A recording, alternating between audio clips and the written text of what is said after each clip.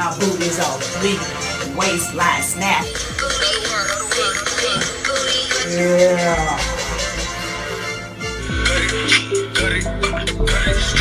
We have a patient that doesn't have a heart rate. Is this person in cardiac arrest?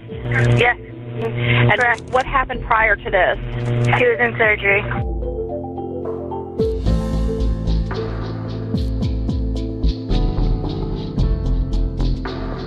I just wanted to keep her costs down and get and give her what she needed from a liposculpting standpoint for her wedding. I told her that's my present to you.